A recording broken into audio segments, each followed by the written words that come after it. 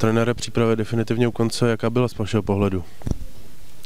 Tak to se ukáže vždycky v té, hlavní soutěži. Teďko nastanou, teďko budou ty ostrý zápasy, takže eh, ta, ta liga nám odpoví na, na to, jaká byla, to, jaká byla příprava. Myslím, já věřím, eh, chci věřit tomu, že jsme dobře připraveni na tu sezónu a že, že do ní dobře vstoupíme.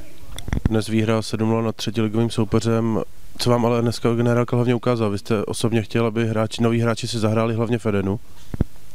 Přesně tak, tak eh, i kvůli tomu to bylo dělaný, tenhle zápas. Hráli jsme poslední přípravu eh, ještě ve Španělsku ve středu, tak to do toho zapadalo, zapadalo do to, toho tréninkového cyklu před hlavou. Uh, jsem rád, že si na to šahli, hlavně ty noví hráči na, na Edenu, ale i ty naši hráči, kdy ta přírodní tráva tady vyhřívaná taky, taky určitě vyžaduje trošku jinak uh, tu intenzitu té přihrávky a prostě ten pohyb na té trávě a odskok míče a tak dále, takže jsem rád, že jsme si takhle zahráli, zastříleli a mm, splnil to svůj účel. V sobotu začíná Liga, jdeme na hlavu. Na co byste fanoušky pozval a jak vy osobně se těšíte na start části? Tak už se těšíme všichni, myslím si, že spolu s fanouškama věřím, že, že jich přijde hodně nás pozbudit, bude to potřeba a já věřím, že se jim Eh, kluci na hřišti odmění eh, dobrým výsledkem a hlavně, aby tři body zůstaly doma, aby jsme ten vstup do, do té jarní části zvládli. Jirko, příprava definitivně skončila. Jaká byla podle kapitána? Eh, já si myslím, že příprava byla, byla náročná, ale byla úspěšná. Jenom jeden zápas jsme prohráli, ale myslím si, že to splnilo to, co jsme od toho očekávali.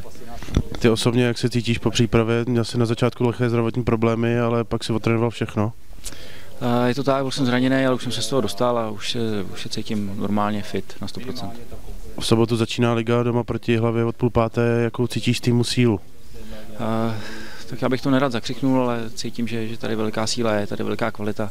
Všichni se na to moc těšíme a, a, a hlavu musíme porazit, jestli chceme bojovat o titul, co my chceme. Předpokládám, že budete silnější spolu s fanouškami. Na co bys je pozval na sobotu? Uh, tak já bych je pozval na, uh, na zápas, na zápas i hlavou a uh, já, my tam necháme všechno, tak já doufám, že se to bude líbit a, a že hlavu porazíme a budu spokojený tak jako my. Do týmu přišlo v zimě zase řada nových hráčů. Jak je, ne, nechci po tobě hodnocení, ale jak na tebe působí ten tým, jak se to sedlo v kabině? Tak zatím je všechno úplně v pořádku, jsou to, jsou to fajn kluci, jsou to kvalitní fotbalisti a teď se ukáže v, v těch zápasech, kde je velký psychický tlak, eh, jak opravdu velký fotbalisti to jsou, ale já o ně strach nemám, já věřím, že to bude dobrý. Přišla je konkurence na tvůj post, ty už jsi tady na to zvyklý ve Slávi, že ta konkurence je veliká, zvlášť na tvém postu. Jak se s tím popasuješ a jak vidíš ten boj o místo v základu, nejen u tebe, ale obecně? Ta konkurence, konkurence je dobrá, to, že, to, že, přišli, že jsou ty posty zdvojený, to je jedině dobře, eh, aspoň ty eh, aspoň se budeme všichni snažit a necháme na, na hřišti maximum, i na tréninkách maximum. Eh, to, to, že přišel Míša Liftner, jsem, jsem rád, jsem rád, je to, je to dobrý fotbalista, měl výbornou přípravu, hraje moc dobře. Já, jestli uděláme titul a, a, a já budu sedět, tak je mi to jedno, hlavně, hlavně vyhrajeme.